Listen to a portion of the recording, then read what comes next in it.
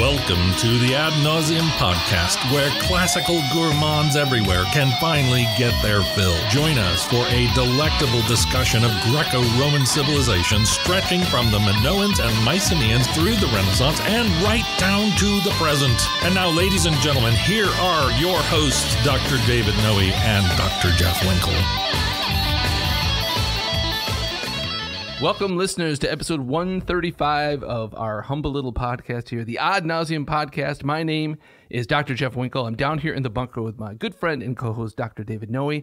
How you feeling tonight, Dave? I am feeling less superannuated than you. Really? Yes. Uh, w- explain what you mean by that. Today's your birthday, Oh, buddy. that's right. It is yeah. my birthday, right? So not when the listener hears this, but today. No, uh, when we're recording. I'm recording. This You're is my birthday. carving out some valuable podcast time on the day devoted to all things Jeff Winkle. That's right. Yeah. So uh, back home, my my my complete my entire family is completely asleep. Hmm. So I'm out here sneaking away and, and extending my birthday. That's great. by uh, recording an episode of this podcast. Visions of sugar plums dancing in their heads. I, I hope so. yeah. I hope so. Yeah. But uh, you're so you're not as superannuated. But how, No. how are you feeling? Oh, I've been uh, I've been lucubrating once again. Really? Yeah, burning the midnight oil. That's right. I have a big uh, a big lecture I have to give on Wednesday, Uh-huh. and it's uh, boy, I'm just it's down to the wire in terms of dotting all the J's and crossing the Y's and so forth. That's right. Exactly. I'm sure that'll go great. I hope so. I appreciate your um, vote of confidence. Yeah. Well, I mean, I'm not not going into all the details, but you were t- describing the the topic. It sounds like a fascinating one. And, Yeah. and, uh, it sounds like something that you could that you could uh, pull out of the holster at any time. And I hope so. Yeah. Toss toss me a big softball. I'd like to. I don't know what's the metaphor. Uh, um, Not get an icing penalty. Yeah, exactly. It's, uh, snap it into the goal or something. There you like that. go. Yeah, right. so, Dave, what are we talking about tonight? Tonight is part three Yes. of the wonderful book by Henri Irénée Marrou. Very nicely You're done. gonna need a towel to clean off the microphone here. no doubt. Right. The hardest thing about French Yeah. is the pronunciation and the comprehension. Yeah. Those two things. Yes, other than that- right? If you set those aside, Right. It's a it's a cakewalk. Yeah. So um, H. I. Marrou and his work, A History of Education in Antiquity. So this was written in 1956. We are not dealing with the French edition. I'm not up to that particular task, but the translated version by one George Lamb. And this is part three. This is part three. All right. Before we get into it, I believe uh, you have noted uh, one corrigendum from last week. Yes. Uh, no shout outs. No. Still hoping for some of those, but one corrigendum. Yes. And what is that? What, Oh, it's so embarrassing. what happened? Well, we were discussing the Indiana Jones movie. Yes. and I s- talked about one of the scenes that was set in Algiers. yes. And I said, I think Algiers is in. Oh, uh, Morocco. Morocco. Oh, right. Guess where Algiers is? I think it's in Algeria. That's- that's Algeria. right. That would make sense. wouldn't How it? come you didn't catch that, Winkle? I'm, I'm just as much to blame. Too much uh, birthday anticipation and get- preparation? I guess so. Right. Yeah. So yes, Algiers is in Algeria. Right. Yeah. Who would have guessed, you know? exactly. Where's New York again? I, who knows? Uh, Yeah. Philadelphia, something like that. Yeah. So, um, all right. So that out of the way. yes. Um, Just one this week. That's nice. j- just one this week. Yes. Yep. All right. Um, so, Dave, you want to just review a little bit? Yeah, I think for, we should for do that. those who might be kind of just jumping in at part three. Sure. Uh, what, what do we do? Who's Marrou and why does this matter? Right. So he was a French scholar, deci- described himself as a Christian humanist, born in 1904, died in uh, 1977, worked in the spheres of late antiquity and history of education. He's best known for this book, which is a tome. A tome. It's a tome. It is, Mm-hmm. uh, which the etymology of which is tomos, something that's cut Yeah. up into portions. Yeah, yeah, so yeah. It's a tome. It has uh, three parts. Part one is where we have been thus far. It's got seven chapters in part one. Begins with Homer and uh, details the distinction between the noble warrior ethos and the scribe. Right. I guess right. you could say the noble scribe. I'm not sure. But you see on the battlefield, you have the individuals who are fighting for valor and chivalry and so forth. This is the individual um, with his arete. Eventually, that transforms into valorizing the humble scribe Right. with his slide rule, dare I say, his college ruled notebook, and his um, his packet of pencils. Right. Replacing the sword and, and shield and spear. That's correct. yes. Okay. All right. Um, So we began with Homer. Yep. And, and section one ends with Socrates. And last week we dealt mostly with education in Sparta. right. We have the, we have a, a bit to pick up on the tail end of that. Yes, we do. We have to finish off some of Socrates, and then we have to move on to a somewhat, how shall we put it, delicate chapter. Yes. Right. And uh, this is going to take um, quite a bit of skill on our part. okay. Don't you think? Right. Yes. I mean, yes. This is this is touchy. This is touchy stuff. Touchy material. We might give a little bit of a listener warning at uh, one point. Right. Just because, while we're not going to say anything indecorous, the the content is in in and of itself a little bit indecorous, you might say. And if there are young children listening, maybe they should tune out. Right. And, but at the same time, any discussion of classical education and in terms of you know, what did education mean That's to the ancient Greeks and Romans, you can't avoid the subject. Right. And the subject is that of pederasty. Right. And to give a brief definition, it's the romantic relationship between men and boys mm-hmm. looked at not in any sort of prurient way or leering way, but only insofar as it touches upon education. Right, exactly. And I would also add to that. I mean, this is one of these details that has kind of, I think, in a prurient way, has kind of has become something that a lot of people, quote unquote, know about the ancient Greeks. Yes. uh, weren't they the people who you know fill in the blank? Right. And so I think it's also important to cover this topic in terms of you know kind of correcting Right. um, those those kind of broader notions that are out there that uh, may not be all that accurate. We're going to try to be responsible Yeah. about it. Uh, okay, before we get in, um, Yep. Now I realize this this is episode three on this topic, That's and, right. and we've talked about um, these these introductory things before, but I think it's even so it's worth it to talk about what why does this matter? Why are we asking these questions? Mm-hmm. And you know what do we even mean by when we when we use the term classical education? Right. As it turns out, Jeff, I have a definition of education for us. Oh, really? This is a callback, Okay. a, a deep cut, uh, back to the introduction, actually. Don't worry, folks. Page 13, just to review. This is what Marrou says Education is a collective technique which a society employs to instruct its youth in the values and accomplishments of the civilization within which it exists. Okay. All right. So that's our starting point. Why is it relevant? Both of us are educators.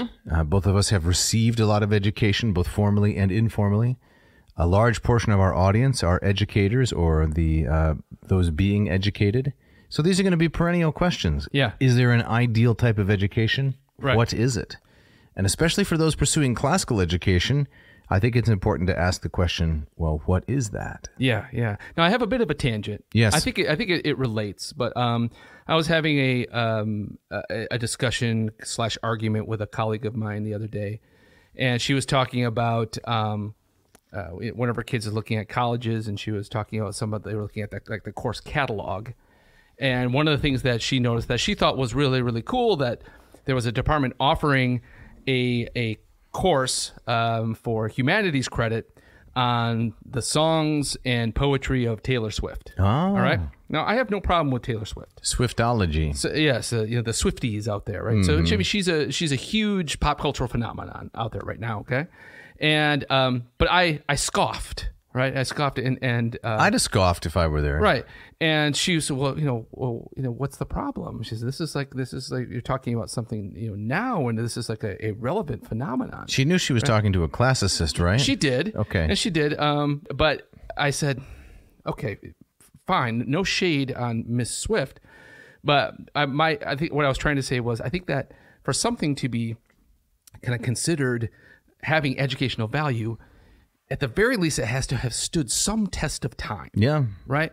And so when it, you were when you were talking with Marrou's definition there of, of um, education, um, uh, on the, the sharing and the passing down of the accomplishments of a culture, Right. Um, and, and and so uh, the idea that for something to have value in the classroom to be passed on, that it has to it has to hold up against some kind of chronological measure. It has to Right. stick around. It has to show some other kind of influence. Stay, staying power. Staying power. Other than that, it just happens to be popular right now. Right. Right. And um, I subscribe to that notion. I think that time has a filtering effect on different kinds of literature and art. yeah, And some really good things are not popular in their own time, like the novel Moby Dick. Right. Sold less than 500 copies in Melville's lifetime. Right, right, It right. was an ab- absolute bomb. Now it's widely considered the greatest American novel. yeah, Uh, but other things are known to be great at the time, and they prove to stay so, like uh, Michelangelo's David. Right. Everybody knew as soon as they saw it. That this was a masterpiece. That's possibly the greatest thing ever sculpted. Right, right, yeah, yeah, exactly. So, I mean, I, I just backpedaling a bit. Um, I, I mean, I wouldn't say there's never a place for that kind of thing. I mean, there's, I think there's something to be said for, for, um, you know, casting a an intellectual lens on a phenomena that is happening in the moment. Yes. Right. Uh, but in terms of, you uh, kind of long-lasting, kind of rooted, uh, canonical educational value, there has to be a kind of a distance of, of time and influence um, for for it to, to to earn that. Agreed. Yeah. All right, David. Let's um, let's dig into some Marrou here. So we have a, a bit more to say about Spartan education. Yes. Uh, where do we where do we leave off? Can you help us? Well, we're starting up with a state education, a state education, which is page 19. And I think this is something that would be surprising to many individuals who pursue classical education, like myself. The classical education, at least in Sparta, but also to a large extent in Athens, was conceived as a state function, a community project. It was not highly individualized. Right, right, right.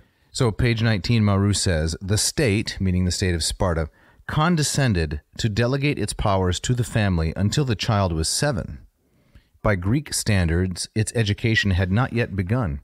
Up to the age of seven, a child was merely fit for rearing on a trophy, an accomplishment at which Spartan women were traditionally expert. Laconian nurses fetched top prices in the market and were particularly appreciated in Athens. This is from Plato's Alcibiades. Okay, okay, okay. But when the child was seven, it was taken in hand by the state, and it was state property until the day of its death. This is when the the young Spartan boys would go off to live in the barracks. That's right? correct. Not Right. just the boys, the girls too. girls too. Its education in the strict sense lasted until it was 20. It was placed under the direct authority of a special magistrate, an absolute commissar of national education, the Paidonomos. That is the one that makes rules for kids. Okay. The Paidonomos. Right. Would you like that job? Uh, now that sounds like a nightmare. To It me. sounds terrible, doesn't does, it? it does. For me, it'd be all Twinkies and soda pop. That's right, exactly. What are we going to do today? Right. Well, let's give them a round of Twinkies. That's right. Just sugar them up. That's right. Maybe if one tries to do a sit up or a push up, good enough. Good enough, right? Yeah, keep that going. Yep. Here's, Yeah. here's your Xbox. and then they were made to join various youth organizations, rather like the Boy Scouts in some respects, but still more like the totalitarian youth movements, the Gioventù Fascista and the Hitler, the Hitlerjugend. All right. So he just Marrou's jumped, he- throwing down. He just went from uh, the the Boy Scouts to Hitler and Mussolini. That's correct. Okay, right. Scholars, even from the days of antiquity, have always been interested in the highly complicated, picturesque language that was used to describe the early classes. He says, Here I shall confine myself to giving what, after much consideration, I have come to regard as the best hypothesis.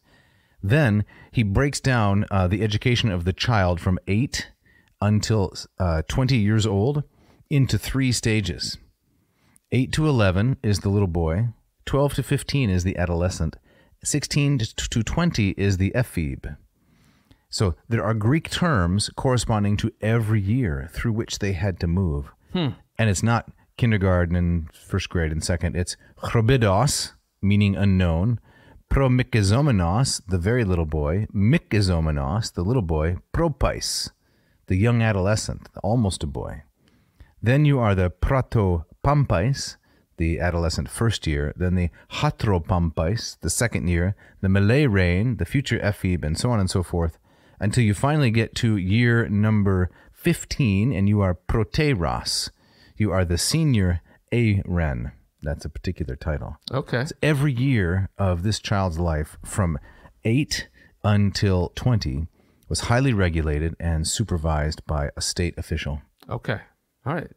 So this is no. This is we're still just talking about just Sparta here, Just Sparta. right? So this was This is not, not everywhere. okay. All right. Yep. So he goes on the whole system of education was thus collective. Children were simply torn from their families and made to live in community, and the process was progressive. During the first four years, the wolf cubs, Mykozomenoi, only met for games and exercises, but at the age of 12, the adolescent, the Pampais, had to be made tougher and was obliged to leave home and go to a boarding school, i.e., the barracks. He could not leave even if he got married before he was 30. Wow. 30. Man, So you give 22 years of your life. That is that Uh, is to the crazy. state. Yeah. I mean, there's some. I mean, there's I mean, not uh, like a, a, a one-to-one reflection. of that in Athenian society. But what it, for the Athenians it was, I mean, I think they also kind of considered that you didn't kind of reach full manhood until age 30 was that wasn't that kind of the, the, the point at which you you kind of stepped into your full Yes, I think that's right. public life right Yep. um but just the the amount of of regulation and supervision and control that Mm-hmm. you had, that Sparta had over over all these kids until the and until the age is incredible yeah So you're probably wondering, what did they learn? what did they learn Yeah. Uh, page 21, they learned to be soldiers. Everything was sacrificed to that, says Marrou. The intellectual side of their education was immediately reduced to a minimum. Everything centered around military training, so that physical education came first, but athletics and sports, like hunting, were no longer part of an aristocratic way of life. Their aim was simply to develop physical strength. Very soon, the boy began to do real military training as well as gymnastics, learning how to move with others in formation, how to handle arms, how to fence and throw the javelin, and so on. The Spartan army was the only professional army in classical Greece. Until the fourth century, all the other city states relied on improvised citizen armies. Hmm, mm-hmm. So Socrates and Euripides are sitting around. I guess we better get up and go fight. Right. That was it. that was it you're responsible for your own armor and militia. Mm-hmm. all, that stuff yeah exactly And, says Marrou, the Spartan army was universally admired for its skill in maneuvers. It could suddenly change from formation in file to formation in line in perfect order, and do this just as faultlessly on the battlefield as on the parade ground. Right, right. So we were talking. We were talking last week about um, how the Spartans dominated those early centuries at the Olympic Games. Yes. Right.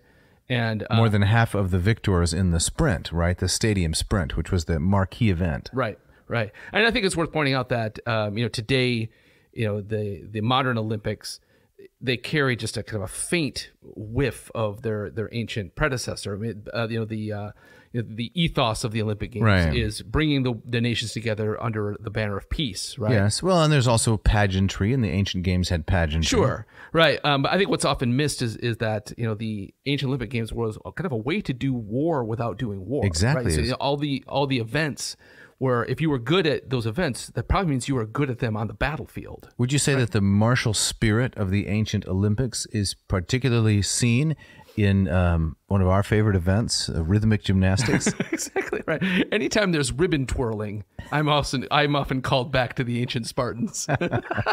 Although was one of the uh, ancient Olympic events was the the warrior dance, right? yes, there was a, it's not that far off. right, exactly. So you, they- Cross Cirque du Soleil with the you know an athletic event. That's what you get. Right. So, do you imagine they had judges holding up tablets? With, I don't know. with numbers. but uh, aside from that warrior dance, which I don't fully can't wrap my head No. Around, but um, if you were good at running, sprinting, throwing a javelin, and and riding horses, that yeah, you could. That's um, reflective of being uh, a, a great warrior. That's right, and no um, warfare during the time of the games. Yeah, exactly. Yeah. cessation of hostility. Mm-hmm.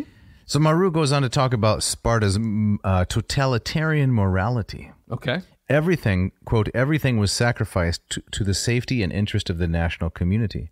The ideal was an absolute patriotism, devotion to the state carried to, s- to the supreme limit of death. The only standard of goodness was what served the interest of the city. Whatever helped to increase the greatness of Sparta was right. Consequently, in relationships with foreign powers, Machiavellianism was the rule. And in the fourth century, there were to be some shocking examples of Machiavellianism from Spartan generals. Does he give examples of that? No. That, that's what I want to hear about. Right. Oh, they come. They, you can read about them in Thucydides. Okay. Some of the things that uh, Spartan generals did to their own men because they were expendable. Right. There was not a kind of esprit de corps that um, risks the safety of the group for the preservation of the individual. Right. Right. You right. only risk the safety of the group if it preserves a larger group, Right. but not a smaller subset. Yeah. Yeah. Exactly. Yeah. You want to talk a little bit, Jeff, about the uh, education of girls in the Spartan state? Yes, my pleasure. This is on page 23 of Marrou's book. So far, we have been concerned with the boys. The girls, too, were brought up to be Spartans. Their education was rigidly controlled, with music, dancing, and singing occupying a less important place than gymnast- gymnastics and sport. The grace they had had in the archaic era was sacrificed to a crude utilitarianism. Like the women under fascism, their first duty was to produce as many bouncing babies as possible, and all their education was subordinated to this one end. They had to learn to put aside all delicacy and womanish tenderness. By hardening their bodies and appearing naked at feasts and ceremonies, The idea was to turn virgins into strapping viragos with no illusions about sentiment, who would mate in the best interests of the race. Wow. Hmm. Which would be worse, to be a woman in the Spartan system or to be a man? Ah, Yeah, I know. They both sound so horrible. Yeah, exactly. I mean, we were talking last week about how you know Spartan um, women had they they competed in games as well. That's right. and you know the a- Romans found that charming. right, and you know, from a modern perspective, someone might say, "Oh, look, you know, the Spartans were you know ahead of their time," Oh. and such. But, but You have to look at the whole picture. yes, You can pull any little tiny strand from a civilization or a Right. culture and say, you know, it's superior to some other culture. right, And I don't doubt that in some ways it was, but Yes. in other ways, definitely not. exactly. I think we we I know we've talked personally. I'm, Sure. I'm sure we've talked about it on the on the on the show as well. That um, when we when we, like in our classes or when we talk about uh, you know, ancient Greek civilization and um, we we kind of share our love for that civilization. Um, that is uh, some. I may have had students kind of mistake that for this Oh. idea that this is kind of this is an ideal that we need to go back no, to, no, right? And it's that's a highly selective love. exactly Uh, yes, of course, right, right. um, I mean, deeply fascinating. Correct. And, and certainly uh, one of the re- reasons that I I love it and fascinated by it because it still influences and ripples out to Sure. the present day. But that's not this. And there are some parts of it that I would like to see revived. yeah. Oh yeah. Of, like, of like the, you know, the devotion to um, literature as a part of public entertainment. sure. Yeah. in the tragedies and the comedies. I mean, they were not only really interesting and funny and entertaining. Yes. They had high literary content. Right. Maybe there's something like that, and I'm just missing it. Yeah. Exactly. Maybe opera is on line one. I don't know. Right. Right. Yeah. But that doesn't mean that all of the other stuff is, you know, thereby um, given a pass. Exactly, exactly right. So like yes, uh, um, yeah, a selective love for particular things. Correct. Um, but yeah, but um, yes, with um, yes, the the women, the Spartan women, yes, they competed at their their own games and were very good at it. However, that's yeah, it's just a small slice of a much larger pie. There's a little bit of a posture involved in that as well. For me, at least, when I have taught on these subjects, it's kind of taking a, um, a devil's advocate somewhat to try to break through the student's general disinclination to think about another culture and its claims. So I might exaggerate a little bit, right? Okay. The value of what the Greeks and the Romans taught and thought and did. But in a more sober moment, I'd be more than willing to admit all of the flaws and defects that every culture has. Right, right, right, right. Sometimes students don't really understand. This is a just a little bit of the promo. You know? do you know what I'm saying? Yeah, yeah, yeah, yeah. I, yeah. I got to overdo it a little bit to get you to take it seriously. Right, But if, if we're going to get down to brass tacks, well, then yes, obviously, every culture has much about it to criticize. Yes, well said. Well said. Yes, I, I like that a lot. So, um, I mean, one thing I I uh, I wanted to get back to is um, I think it's something we also mentioned last week. Of course, the Spartans left almost nothing behind in terms of written culture. Right. Right. They couldn't agree on how to even spell their own words. Yep. Right. Uh, Smugly anarchic. that's what that's the phrase. Right. That's Marrou's phrase. Marrou's phrase. Um, so you know, so how much of this stuff about the Spartans, you know, is in some his, historically trustworthy? Well, it's all uh, detailed in the book under the title "The Spartan Mirage." Okay. Remember, which is the section that we're getting to next. Okay. And that is so much of our knowledge, I think I said it last time, of Spartan culture and structure is filtered through highly sympathetic aristocratic Athenians. Yes. Yeah. Should I read a little bit of Marrou here? Yes, please. Okay. What, so what page are we on? we're still on page 23 here. Um, and he's talking about this this enthusiasm that you know different cultures had for the Spartans. Right. Um, and so he says this enthusiasm had had its precursors amongst the ancients. In fact, we know Sparta primarily through the romantic, idealized picture of her pre- of of her presented by fanatical partisans, especially those who were found to be amongst her old enemies in Athens. Towards the end of the fifth century and throughout the fourth, the triumph of de- democratic tendencies became more pronounced and their hold more secure. And the party of old right wing aristocrats and oligarchs fell back into a surly, sterile opposition, the victims of a veritable neurotic introversion, projecting onto Sparta their own frustrated ideals. That's a little bit of purple prose there, isn't it? it is. Do you think you could simplify it for us a bit? Yeah, so I think what is Marrou saying? I think what he's saying is that so as the fifth century went on, Right. and in um, in Athens, as the democratic experiment kind of took hold, um, the the oligarchs, you know, the the the part of the the population that was you know moneyed and and, and status and had the family name began to become more resentful of this. Specifically landholders, right? Right.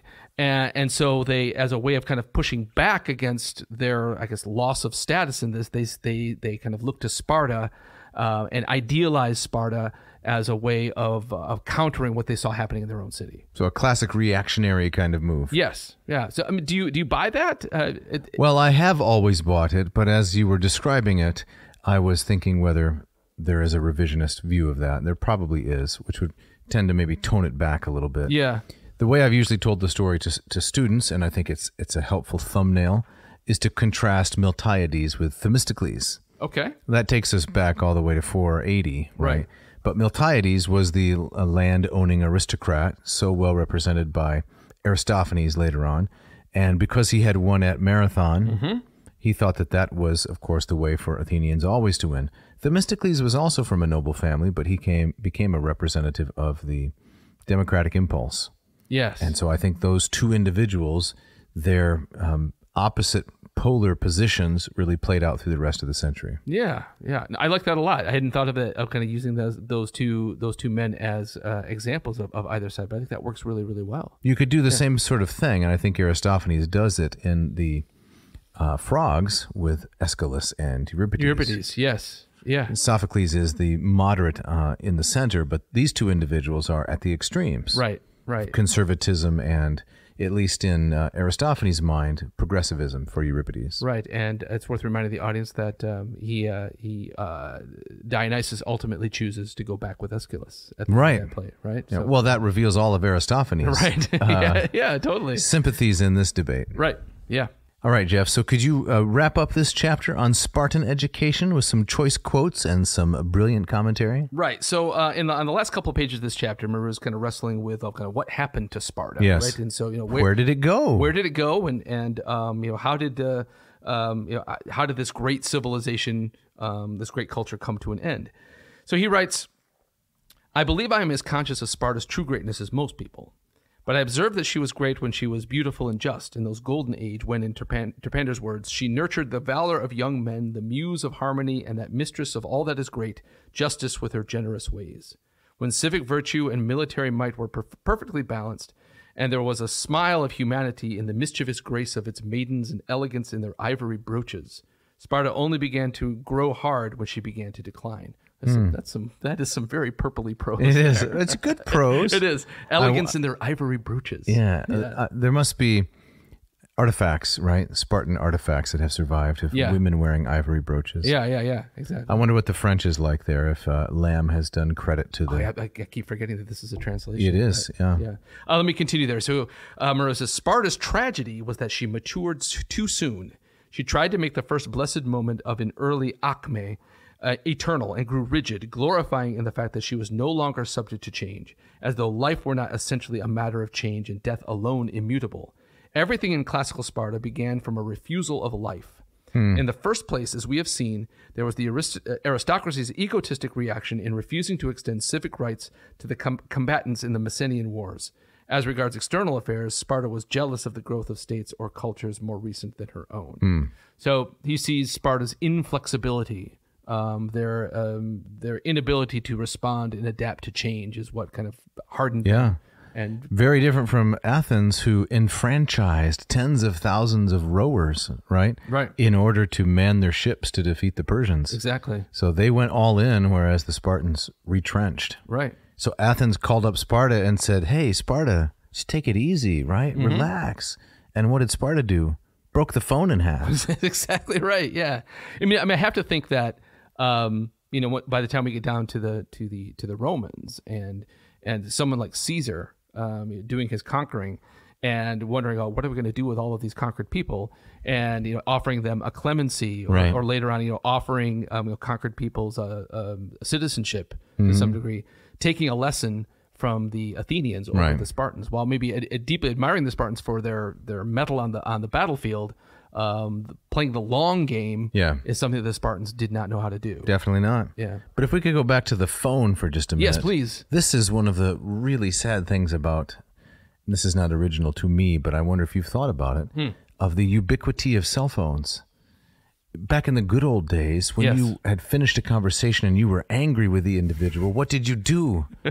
You, slammed that it down phone, into the right. receiver. And It was hard plastic. It made a good sound, and it was so satisfying. If you slammed it hard enough, you could even uh, uh, trigger the bell that was still in it, right? And it Yes. would, it would clang a little bit. Exactly. That was so satisfying. right now. There's nothing to do. You can push the end conversation button very firmly. Right. Right. Or or I mean, uh, it also as your actual conversations are having less and less, you can uh, you can send some kind of angry emoji. Right. Right. I guess. so It's just not the same. it reminds me of an old uh, Mitch Hedberg routine where he talks about um, it's uh, the unsatisfying. Uh, oh, so you're going to digress now? Yeah, a little bit. Well, it's your uh, birthday. It is right. So the unsatisfying experience of having an argument in a tent because you can't slam the door. It's, it's you can't slam the flap. What do you just zip it up really fast? That's funny. this is why I don't camp. For that reason alone. Yes, if an argument breaks out, I might need to slam something. Right. Yeah. And you can't you can't No. slam a flap. Right. Right. Speaking of slamming flaps, Yes? it's time for the ads. Do it.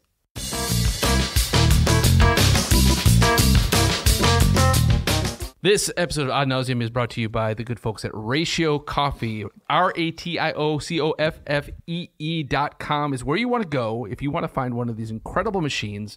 The Ratio 8, the Ratio 6, and coming soon, The ratio four. which I'm very excited about. If you know, if I get the four, I will have collected them all. The, the first kid on my block. You're going to keep them still in the original packaging, like those old um, Wookiees and Ewoks. Exactly, exactly. And, and, and, The first kid on your block. and then one day show up at Coffee Con and uh, you can't get these by sending in uh, cereal box tops, which nobody does anymore. No, man. Did you ever send in the Box Of course. Yes. Oh man, I got every free thing. Sometimes I had to eat so much cereal just to get the box top. That's right. Yeah. Uh, Dave, um, do you have do you have some poetry about I to do. share? Okay. Well, yeah, I have wrote a little limerick. Okay. Um, you ready? Yeah, I'm ready. It's awful. Okay. Here goes. Today is the birthday for Jeff, not Katrina, nor Jimmy, nor Steph. So buy from our sponsors and swell up his coffers, or he may just go work as a ref. Oh man. Oh, that is dismal. was that no? Was that Chat GPT or was that all you? No, that was me. right. I devoted 20 seconds of my life to this thing. Right, right. You know how hard it is to get uh, Jeff to rhyme? It's it is it is I got hard. Jeff, Steph, and, ref. Right. There's yeah. There's not much. There's No. not. It doesn't give you much room. And even harder is Winkle. Oh, it's terrible. Yeah. Right. So well, I appreciate you working me into the You're welcome. my birthday into the rhyme. sponsors, coffers. That's Right. not too bad. Right. I don't You know Want me to read it again? No, it's good. me either. I got right, right. so, um, so yeah, um, ratio coffee. I'm assuming Yes. that you brewed something up in your ratio eight. This morning. Absolutely, I did. Use my Baratza grinder. Yep. Set it at 21, which is the perfect setting, and uh, I brewed up a delicious pot right down into the hulking flagon, Mm-hmm. which keeps it warm. Bypassed the hand blown borosilicate glass. Nice. The off gassing got rid of the Uh, the uh, the uh, the something the gas. Uh, have brackish tang. brackish tang. Where have I been? I don't know. No, brackish tang.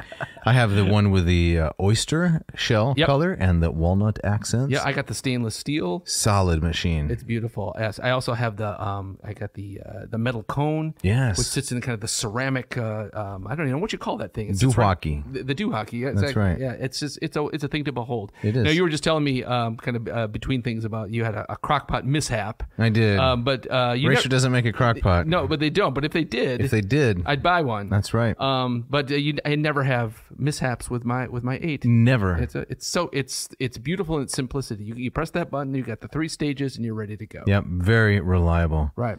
So, listener, if you want to score for yourself one of these machines, please go to ratiocoffee.com, R A T I O coffee.com. Check out their wide variety of excellent machines, and then you want to enter this coupon code ANCO4Z. That's ANCO4Z. Jeff, what does the Z stand for? I think zesty. Zesty. Yeah. And what will this uh, coupon code earn for the listener? That will get them 15% off their entire order. Excellent. Check it out. This episode of Ad Navseam is also brought to you by Hackett Publishing. Hackett Publishing in business now for 53 years. Begun in 1970 with offices in, where are their offices? Indianapolis. And Cambridge, Massachusetts. That's Yes. correct. Yep. They have been bringing excellent translations of a wide variety of classical works, plus other things modern philosophy, Asian philosophy, Japanese history, a whole book devoted to the samurai. Islamic studies. That's right. Yep. It's you it's name everything. it, they have it. Yep. So, Jeff, what do you like about um, Hackett and no mentioning the covers, even though it's your birthday? I know. Well, I, what I don't like is I, that I don't have a limerick, limerick prepared, even though it's much easier to rhyme Hackett than Jeff, right? You've got uh, Yeah, that's true. Packet, and, And it's also much easier to make fun of those who write limericks than to write them yourself. that's that's true. This is Uh-huh. true, right? So now the limerick's on the other foot. Yeah, I love Hackett. Yep. because um, I teach a lot of students who don't have a lot of extra pocket money, and when I order uh, text from Hackett and and require them to buy them, I know that they're getting a great deal.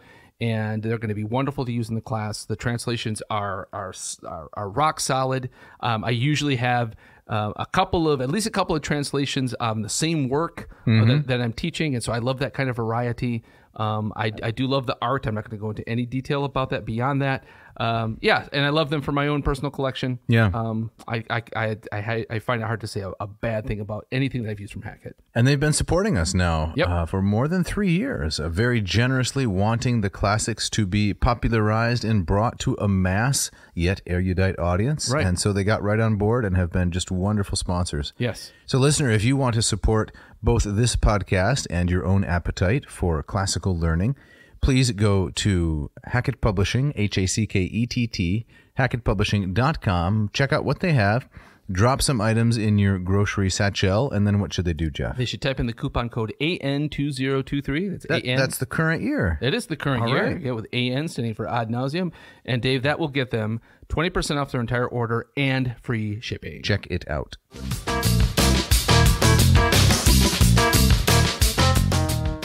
All right, Jeff. So as we get back into it, Mm-hmm. my understanding is you have a few more comments to make about Sparta. Right. So Marrou makes this really interesting observation uh, at the end of that chapter, where um, this goes back to uh, uh, as we're talking about the Spartans. I'm remembering the time that um, we we've gone to Sparta together, and when you walk through the oh, you know, over the Acropolis of ancient Sparta and look at the ruins, there's not a ton to see.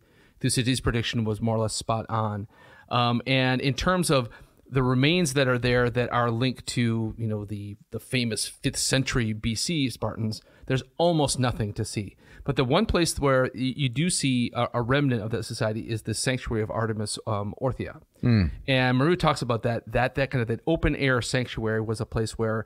Uh, from Marrou's point of view, when Spartan education, when they were at their kind of their their acme, Right. at their best, it was a place where uh, young boys would um, kind of perform acts of bravery um, you know, for the delight of the crowd as kind of part of their education.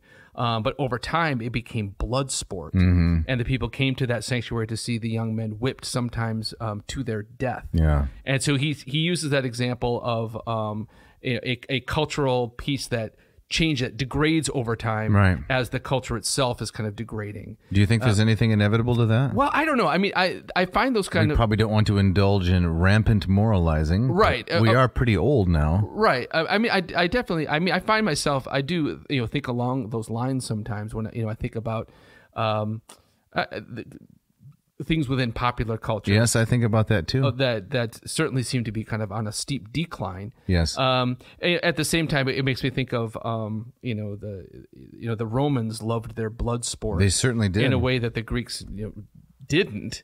Um, and or they they devoted more resources to it. yeah, It was more of a public spectacle. it was. And I I mean, you have I'm not you- sure about the relative loves, but in terms of cultural engagement, the Yes. Romans, you know, had them beaten hands down. Exactly right, and and and I think I mean this is a bit subjective, but I think if you were to compare, you know, Roman tragedy to Mm-hmm. Sophocles, I, I think you'd find very few people to say that the the Romans they topped uh, Sophocles and Euripides and the like. Um, their comedy was very was very was quite different. Right. Um, but you know, I don't know about you know, that that argument that you know the uh, decline in the arts or a, a move from symbolism to blood sport is always indicative of kind of an inevitable decline. Right. Because I think that in terms of if, so, if we use the Romans as our example, um, the way they centered um, you know blood sport in their popular culture doesn't necessarily coincide with. Uh, you know, it it uh, you know it, it got to its worst right before the end. Right. I mean, you have that kind of thing going on. You have you have Seneca, you know, uh, responding viscerally against it. You have you know Cicero Mm-hmm. um, complaining about um, what's happening in the arena. Yeah, in one of his letters, famously talking about why do I want to see an elephant plead for its life? Right, exactly. And those are you know, especially with Cicero, this is long before the ultimate decline and fall of the Roman Empire. Right. So I, I don't know what to make of those those arguments um, uh, um, as a as a template for you know kind of interpreting history or the future. Right. But um, I get where Marrou's coming from. Yeah. Yeah. And the time in which he lived, of course. Yes, yeah. After the brutalities of the Second World War. Exactly. Yep. All right, Dave. We got to get to uh, our our Yes. Our a difficult more, subject A more here. delicate subject, Yep. a delicate topic. And uh, just to give a little bit of a, a listener warning and maybe um, what I take to be a necessary precaution, maybe others don't see it that way. So this is chapter three, and the title is Pederasty in Classical Education. We've already given a definition of it. It is the cultivation of same sex male relationships within the context of education. And um, I think we should just start here. So if you're a, a parent who doesn't want young listeners to listen, uh, turn this off. We're going to try to be um, discreet and responsible. There's nothing prurient in the chapter. right. All right, so page 26. I must now speak of pederasty, he says, for it affects education, declared Xenophon when he came to this subject in his analysis of the institutions of Sparta. They are words with which all must agree, for we are all aware of the place occupied by masculine love in Greek civilization.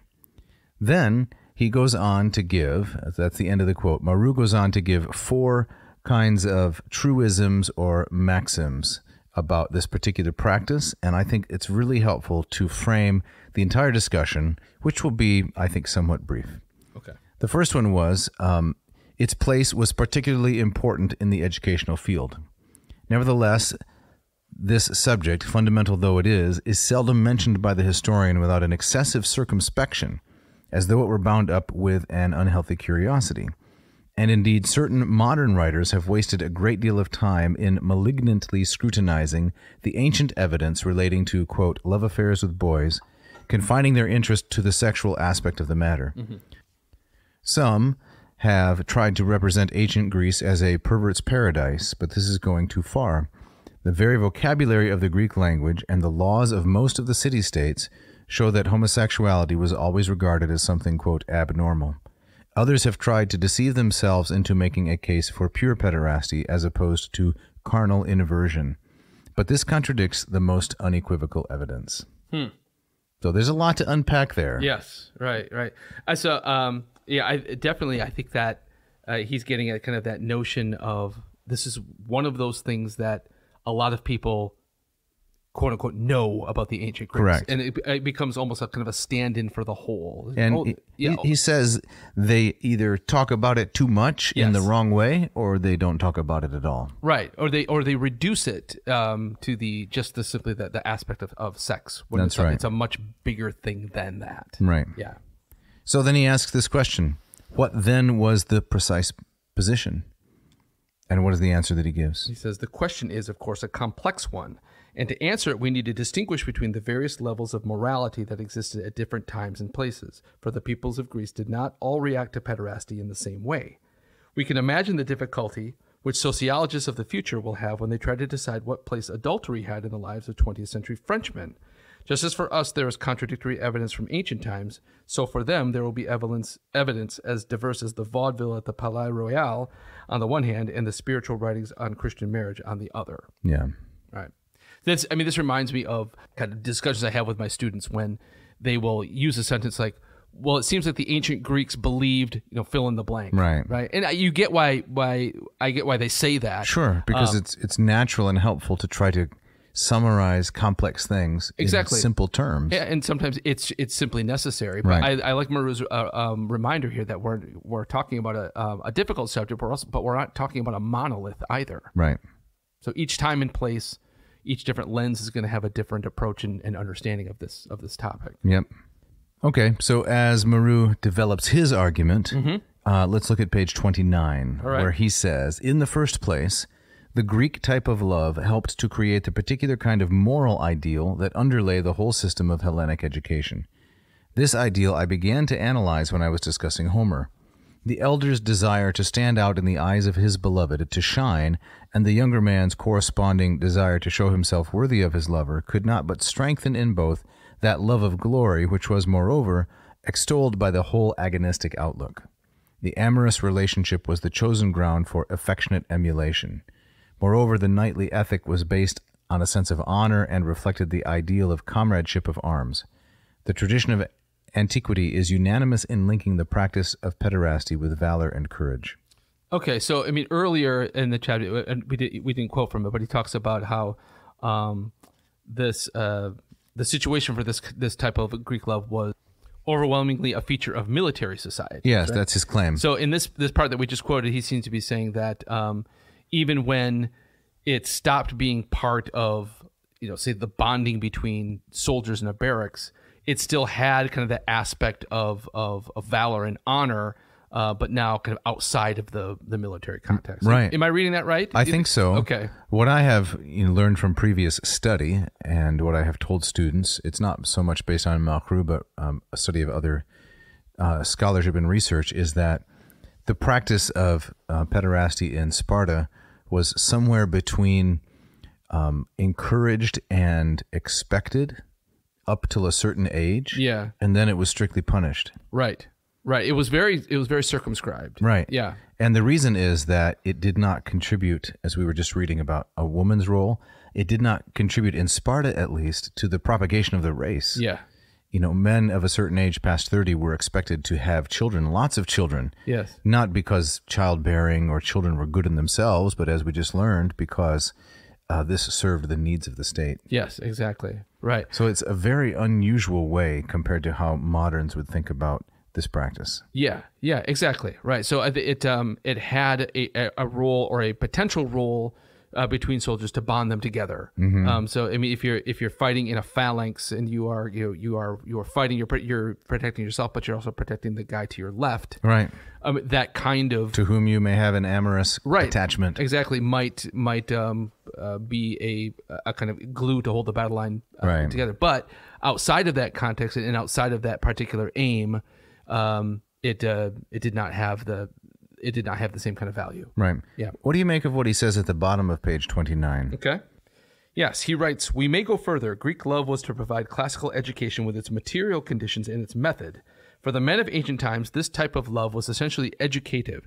Kai epichere paidewein. Its aim is to educate, as Plato says. Yeah, that's from the symposium, it looks like. Okay. Yeah.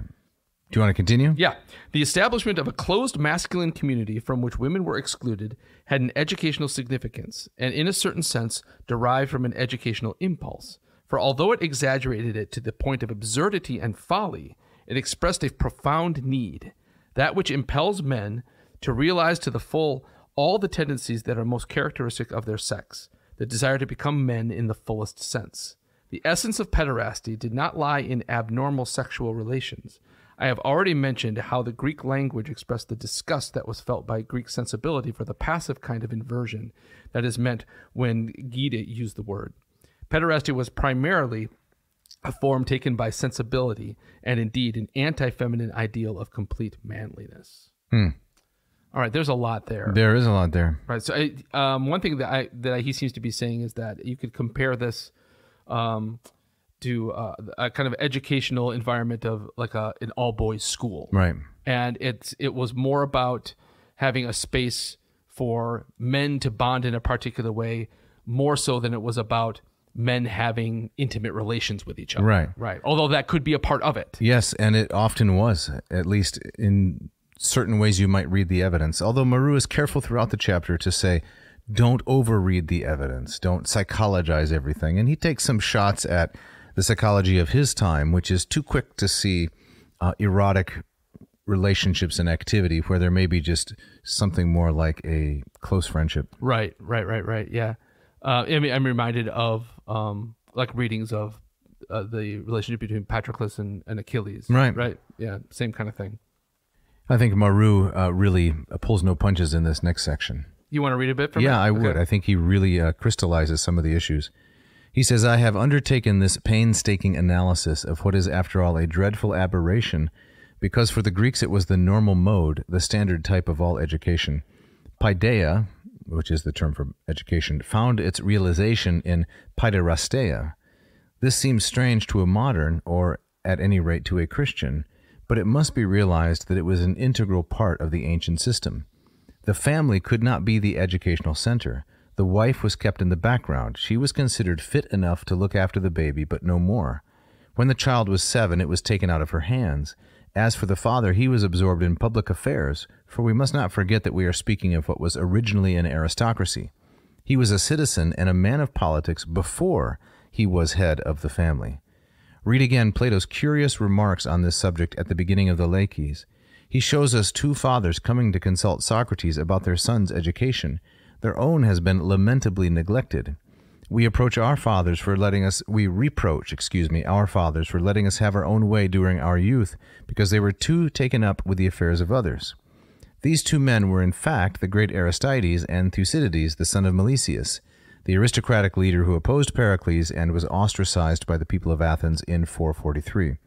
And so it is not surprising that Plato should elsewhere declare quite bluntly that the relationship of pederasty establishes between the two lovers a union far closer, polou mezzo koinonion, than that which binds parents to their children.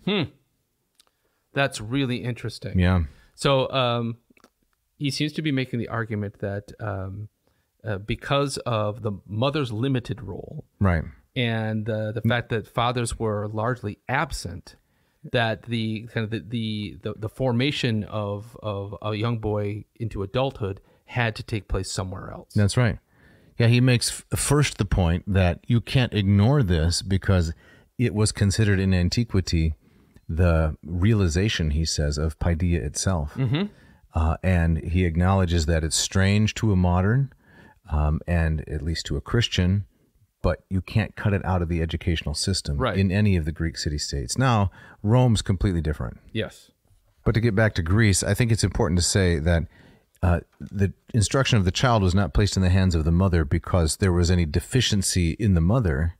It was a cultural expectation that she was not suited somehow Right. to train a boy how to be a man. Exactly. Exactly. Yeah. Yeah. Uh, near the bottom of that same page, I thought this was um um I, I know this is not Marrou's kind of wrapping up the chapter, No. but, but um I thought this was a kind of a, a nice uh, kind of summary of things. He, he writes this for the Greeks, education paideia meant essentially a profound and intimate relationship, a personal union between a young man and an elder who was at once his model, his guide, and his initiator. A relationship onto which the fire of passion threw warm and turbid reflections. So, um, What do you make of that? well, I mean, I guess I mean to link this to the the previous paragraph that you just read is that it seems that um, it, this was uh, from the Greek point of view um, a, a, a part of parenting for the child that was necessary that couldn't happen in the home, right? And so that that relationship with the the mentor who then would become a lover Yeah. was uh, absolutely essential in in in in bringing up the child to where he needed to be. Right. And then once it reached a point, then that was done right. and then it was it was kind of considered uh, beyond the pale. I mean, I think that I think about you know um, one of the the butts of Aristophanes' jokes, you know, Cleisthenes, Right. um, who's often uh, taken to task for his his um, his passions as an ad- as a as an adult man. Right. I think part of the punch of that joke is that um, what Cleisthenes is doing, and that he's the things he's interested in are kind of he's he's well past the the time that Correct. he should be doing those things. Right, right. Yeah. Definitely. I remember the first time that I encountered this. It was in an undergraduate philosophy class on Plato, and one of the uh, one of my classmates was maintaining, well, you know, we kind of know that Plato is advocating uh, pederasty, homosexuality generally, um, and the professor, uh, whom I respected uh, greatly at the time and still do, made the categorical claim that uh, that's just not accurate. One has to deliberately read into the text of Plato um, those kinds of uh, inferences. I guess you can't read an inference in, but you, you have to read into the text in order to take it out of um, what Plato was saying, and that it's the accusations against Plato from a Christian perspective have been mostly fabricated. Now, I've thought about that a lot since that time because I've gone on to study Plato quite seriously. Right. And I think that on the whole, my teacher was probably exaggerating a little bit. Okay. Okay. Um, nevertheless, I think it's more common to see that sort of thing everywhere than not to see it, Yeah. Yeah. at least in the time that we live in. Sure, sure, absolutely, absolutely. Yeah, I think his great, it, the, my, my teacher's great passion for the exalted thought of Plato and his desire to make sure that students didn't write him off, yes, write Plato off completely because of things that they didn't like. um, led him maybe to exaggerate the case somewhat. Yeah, I can understand that. Yeah, yeah. All right, Dave. I think that um, I think we're up against it. Yes. and I think we should uh, we should make our way out of here. And so next week we're going to. Before we go on, though, Yeah. so so what do you think, Jeff? I mean, the listener who's listened to what, like 134 episodes now, something. Hopefully, yes. they could probably tell that. Yeah, at least for me, I was kind of uncomfortable discussing this topic. Yeah. Yeah. Um, you know, my own Christian convictions and so forth. I'm kind of, I'm, I'm stuck a little bit between wanting to do things that are wholesome and pure. They can be silly, but I, I don't want to um, encourage anyone in something that's that's unwholesome. I'm stuck between that and my desire to be um, s- honest to the material that we have. Right. And you can't talk about classical education in antiquity without talking about this topic, which is right here in this section of the book. Absolutely. I know. No, I So that's my, my little apology, my no. I, defense. I, I don't. Yes. I. I think um, definitely the the warts and all approach is the way to go. Yeah. Right. And so um, I think that um, when we encounter this kind of stuff, we handle it as delicately as we can.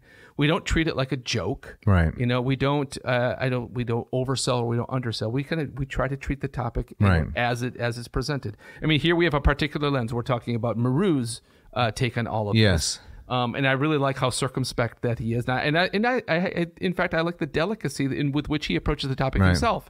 Um, and so, I um, assume you've read other books on this topic. yes, and I, There's I- a there's a famous one. Is it? it's um, it's Kenneth Dover's book. Oh right. Uh, Greek homosexuality uh, came out in the late seventies. oh yes. Okay. Um, that's considered in some ways kind of the, the classic text on this this topic alone. Yes. Yeah. The kind of a landmark. All right, Dave. Um, we got to get out of here. Right. Before we go, tell us a little bit about the Moss method and LLPSI, would you? Well, I have a major announcement to make actually, right. and that is the Black Friday Cyber Monday sale is coming right up. But that's not how we refer to it on this show, though. It's the Black Friday Monsai, right? I thought you didn't like that. I love that. All right, so okay, the Black Friday, Black uh, Black Friday, You can't Black even. Monday. You love it. You can't even say it. well, it's because that's what I like the abbreviation. the. Black Friday Monday. The Black Friday Monday The Black deal. Friday Cyber Monday deal. what is the deal? It's going to begin on Wednesday, November. What would that be? Um, that would be 22. 22. Yes. November 22 at, um, I guess it'd be midnight or 12.01 a.m., Wednesday, November 22.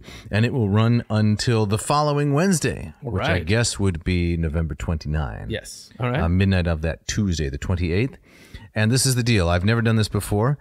For that short window of time, Mm-hmm. I'm going to offer 20% off. that's huge. I'm taking a page out of the Hackett book. Yes. 20% off for the Moss Method or for my Latin course. Fantastic. So go to mossmethod.com, check out some of the free material, uh, see why you would want to take this course, and please also go to latinperdiem.com slash LLPSI if you want to check out the Latin offerings. Just about a week ago, uh, the free videos, instructional videos on both Greek and Latin that I offer on the YouTube channel surpassed 2,000 separate lessons. That's fantastic. so there's, um, I don't know, several years worth of viewing, honestly. Excellent. Yes.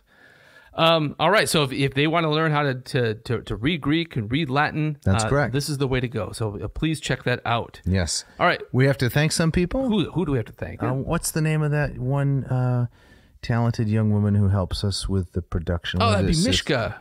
Mickey. What is it? Mishka. Mishka. Yes, Mishka, our intrepid engineer, right? Uh, doing great work week after week. Um, quick turnaround time. Lightning fast. Yeah, makes us sound great. Um, and also, So so thank you, Mishka. thank you, Mishka. Don't forget that. Of course, right.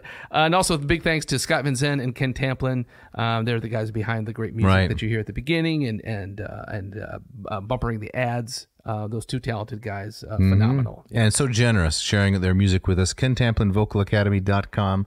He just got something like 185 million views. Did you Uh, really? yeah, on his YouTube channel. All right, check uh, his vocal, his reactions. Uh, They're funny. They're great. Guy They're has so a, good. f- a five octave range. He can really sing. So- so Unreal. really impressive. Yep. And Scott uh, Scott Van Zen musicschool.com Yes. is the place you want to see how to play guitar like that. Fantastic. So hey, if we if you wanna um, get a have a shout out, um, if you have an idea for a show, you got questions, don't hesitate to contact us. You can write to Dave, Dave at adnavseam.com. Don't forget that V. Or Jeff at adnavseam.com. Don't forget the V. Wish him happy birthday. Yes. You Could say something like "Happy birthday, old man." Yes. I don't please. say that. Right. I, I don't mind. You don't mind. I've accepted it. You Yeah. can go to adnavseam.com in the Lurch with Merch section. Uh, pick yourself up a hat or a T-shirt. Yep. Jeff, what are we going to do next week? Um, should we ju- uh, just uh, say TBA? I think TBA, TBA. and TBD, TBD. and plus any other letters we'd want to put after T and B. But we're going to take a break from Marrou. That's right. And we're going to gonna, uh, get some other topics on the table. And, That's and right. see where this takes us. Maybe something a little bit seasonal uh, or a little bit topical. That could be interesting. Remember last year for uh, Thanksgiving we did uh, colonial Latin poetry. That's right. That's right. Yeah, that was very interesting. That, was, was- completely brand new to me. That was, That was fun. Remember all of the different uh, animals in Latin that uh, spotted the American landscape. That's right, that's right. there was the beaver and the otter and the lynx and so forth. yeah, great stuff. Great stuff. And Jeff, I think you have the gustatory parting shot. Now this is a long one. It is. and it's not intended to be funny, but I found it funny when I read it. Right. This is one. This is uh, the writings of one Christopher Ryan and Cacilda Jethá. Yes. And they write, think it's rational to be grossed out by eating bugs? Think again. 100 grams of dehydrated cricket contains uh, 1,550 milligrams of iron, 340 milligrams of calcium, and 25 milligrams of zinc. Wait, hold on. Well, yeah. I have to eat 100 grams of cricket to get 25 milligrams of zinc? That's right. Okay. exactly. How, how, how many crickets that amounts to? Uh, three mil- minerals often missing in the diets of the chronic poor. Insects are richer in minerals and healthy fats than beef or pork. Freaked out by the exoskeleton? Yeah, just a little bit. Antennae? Yes, again. And the way too many legs? Yes, uh, three times yes. then stick, stick to the turf and forget the surf. because shrimps, crabs, and lobsters are all arthropods, just like grasshoppers. Hold on now. Yeah. Is he actually saying that if I eat a, a shrimp or a lobster, it's just the same as eating like a ton of crickets? He's he's saying, look, look, shrimp, crab, and lobster, they're all kind of hoity-toity foods, but it's the same thing as the grasshopper. Why are you popping crickets in your mouth? Why don't they have the same cachet? Maybe if I had a big bowl of butter and one of those wooden hammers, could smash the cricket over the head and pull his tail off. Yeah, That's exactly. what they do, isn't it? Yes, right, right, Okay. right. All right, this goes on, and they eat the nastiest of what sinks to the bottom of the ocean. So don't talk about bugs' disgusting diets. Anyway, you may have bug parts stuck between your teeth right now. Definitely not. The Food and Drug Administration tells its inspectors to ignore the insect parts in black pepper unless they find more than 475 of them per 50 grams on average. Hold on now. Yes. I just uh, I have this nice uh, black pepper grinder at home. Yeah, yeah, yeah. You take the little lid off the top and you can just put it on your eggs or on anything delicious. Right. yes. And ever since I read this, now every time Are you checking for parts? I'm checking for bug parts in my black pepper, I think it tastes like a black peppercorn, but it could be a cricket head. You don't know. Who you don't know, knows? but maybe you're just getting this a little extra zinc, right? A fact sheet from Ohio State University estimates that Americans unknowingly eat an average between one and two pounds of insects per year. Now, is all this supposed to be persuasive? Well, I it sounds it's. it If I unknowingly eat, okay, but I'm not going to knowingly eat. I don't like kind of the, the heavy-handed kind of the polemic of it. I don't you know, either. I- yeah, are you are you are you freaked out by the exoskeleton? you wuss, right? So you're not really on the in- insectivore wagon? No, this is I find this less than persuasive. Okay, thanks for listening. Thank you.